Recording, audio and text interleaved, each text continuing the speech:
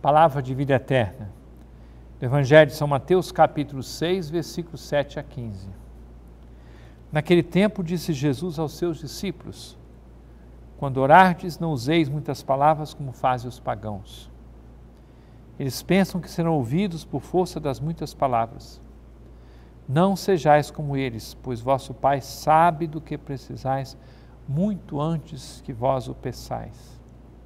Vós deveis rezar assim: Pai nosso que estás nos céus, santificado seja o teu nome, venha o teu reino, seja feita a tua vontade, assim na terra como nos céus. O pão nosso de cada dia dá-nos hoje, perdoa as nossas ofensas, assim como nós perdoamos a quem nos tem ofendido. E não nos deixes cair em tentação, mas livra-nos do mal.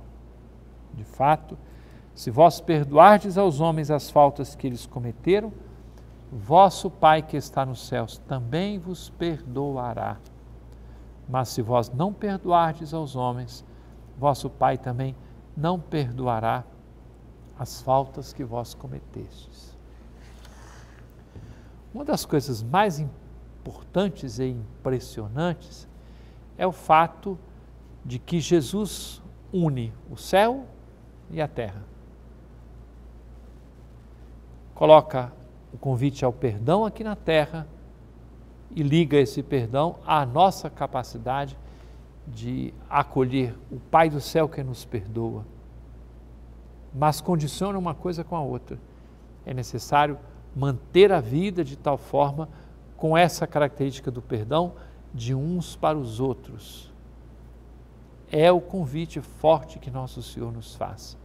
Ao rezar o Pai Nosso, faz-se necessário da nossa parte buscar a coerência com as palavras que nós dizemos. Sem tal coerência, nós comprometemos o nosso relacionamento com o próprio Deus. Não é possível receber o perdão se nós não nos comprometemos também com o perdão. É claro que o perdão de Deus é infinito, Deus é eterno, ele tem uma capacidade de perdoar infinitamente maior do que a nossa. No entanto, é olhando para o perdão que vem de Deus que nós também aprendemos a perdoar aqui nesta terra. É palavra de vida eterna.